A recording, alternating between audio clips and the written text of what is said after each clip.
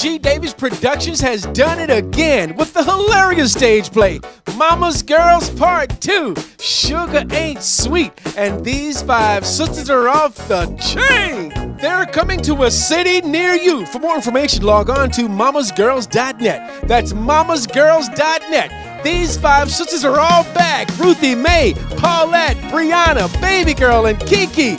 These five sisters are off the chain. But wait, three new characters have been added to the show. Jasmine, Baby Girl's biological sister, Alicia, Baby Girl's best friend, and Michael, Baby Girl's fiance. Mama's Girls Part 2, Sugar Ain't Sweet, brought to you by the American Diabetes Association and G. Davis Productions.